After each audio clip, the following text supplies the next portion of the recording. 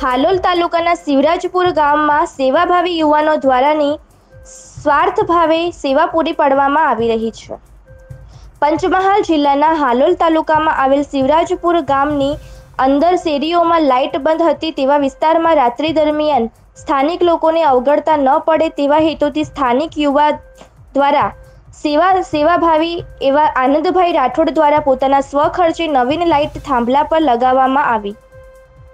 અને લાઇટના થાંભલા પર જાડી ઝાંખરા સાફ કરતા નજરે જોવા મળી રહ્યા છે.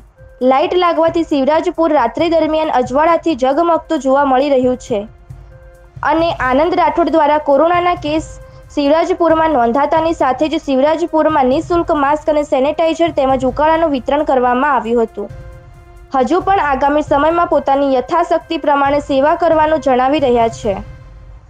રિપોર્ટર નવનીતભાઈ ગોહિલ, હાલોલ.